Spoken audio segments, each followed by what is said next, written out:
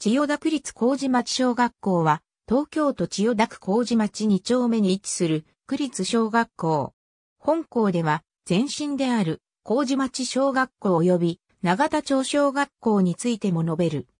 1993年に旧麹町小学校と長田町小学校に併合の新設統合により開校した。千代田区南西部の住宅地や官庁街、千代田及び皇居外苑などの皇室に関係するエリアを学区としている。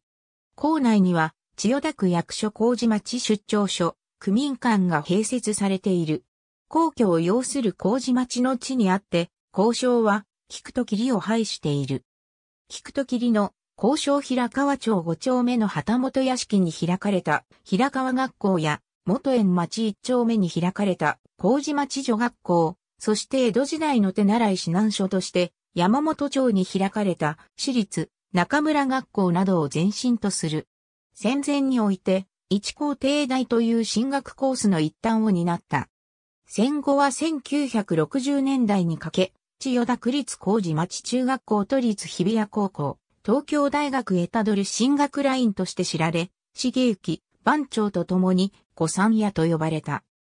1950年代マイナス1960年代の公立校全盛期において、全校生徒の約半数が越境通学者で占められた。官庁街に立地した公立小学校であった。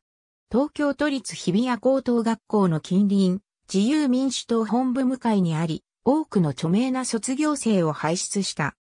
長田町小学校閉校後には、新校舎移設のために、麹町中学校や神田女学園が仮移転するなど、旧校舎が再利用されていた。